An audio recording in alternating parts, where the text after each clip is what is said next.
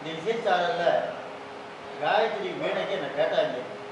இப்போ சாயங்காலம் all India radio நான் இப்போ தான் ஏட்டா பாய் இப்போ தான் வாசிக்க போகிறேன் ஃபஸ்ட்டு அப்புறம் அன்னைக்கு வந்து நம்ம சௌந்தரராஜன் அண்ணா வந்து ஒரு ஆட்டோ வச்சுருந்து வயசான காலத்தில் முடியாத மாற்றி வந்தார். நேரம் வந்து பத்திரிக்கை கொண்டு கொடுத்தார்.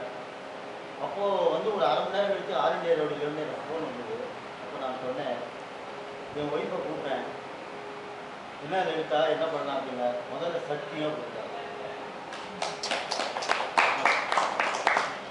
முதல்ல நீங்கள் எதுக்கு ஒத்துழைக்காரு அவர் அண்ணா காலம்பரம் அஞ்சரை மணி ஆறு மணிக்கு ஆட்டோ வச்சுனா ஆற்றுக்கு வந்துட்டு இந்த தியாகத்தை ஒத்துக்கு நீங்கள் கைங்கரிக்குது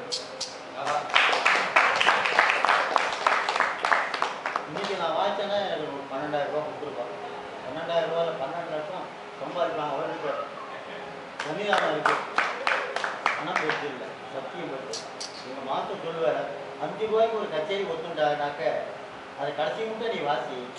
அஞ்சு ரூபாய்க்கு ஒருத்தன் நூறு ரூபாய்க்கு ஒருத்தன் சொல்லுவான் வாசிக்காத. நூறுரூவா ஆள் இல்லைன்னு வருவான்.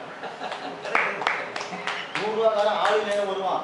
இந்த அஞ்சு ரூபா தான் உனக்கு லைஃப் பூரா சோறு போடும். அதை மறக்காதுங்க அது மாதிரி இன்னைக்கு எனக்கு ஒரு பெரிய பாக்கியம் இன்னைக்கு. இந்த சன்னிதானத்தில் ரொம்ப அசாத்தியமாக பண்ணிட்டு இருக்கேன் சவுந்தரராஜன் இந்த இடத்துல நான் வந்து வாசிக்கிறது ஒரு ரெண்டு நாள் ஆச்சு நீங்கள் நான் வந்து வாசிக்கிறேன் எல்லாரும் அனுகூலம் பண்ணி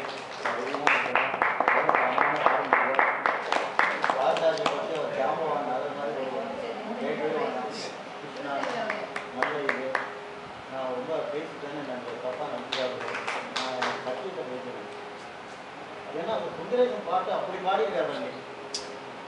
அதோடைய அப்பனுக்கு ஒன்றும் சொல்ல முடியாது நல்ல அழுத்தம் நாகப்பிரமாணம் நல்லா ஒன்றரை துதி அசாத்தியமா இருக்காரு ஆளை பார்த்தா பிரமாதமா இருக்காரு. அரைக்கட்ட புதி வச்சுருக்காரு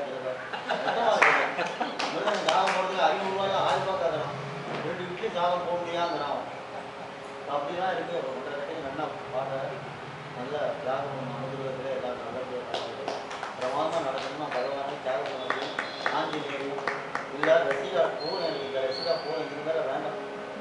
இதுக்கு மேலே வேணும்னா அந்த நாலு பேர் வெளியே நின்று பேசிட்டு இருக்கோம் அது வேண்டாம் மேற்கொண்டு ஒரு முக்கியமான சௌந்தரராஜன் அவர் பேசுவாரா இல்லைன்னா டிஃபன் கொடுப்பாராங்கிறத பார்த்து